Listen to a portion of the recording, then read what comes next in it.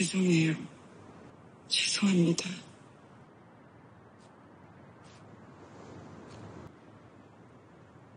너 미행했어. 넌 납치가 취미니까 난 미행으로 할까봐. 재밌냐? 재미는 없어도 멋있게 보이고는 싶어. 내가 는 이겨내고 이제 나 그만 밀어내고 좀 받아주라. 응?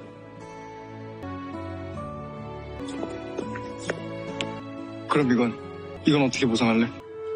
다치게 한 미안해. 사랑해. 사랑해. 고문형.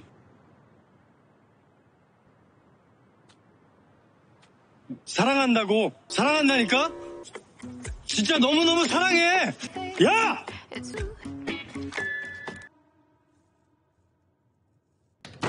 고문형.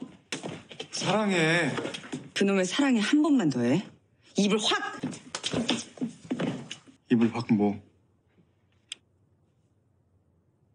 이렇게?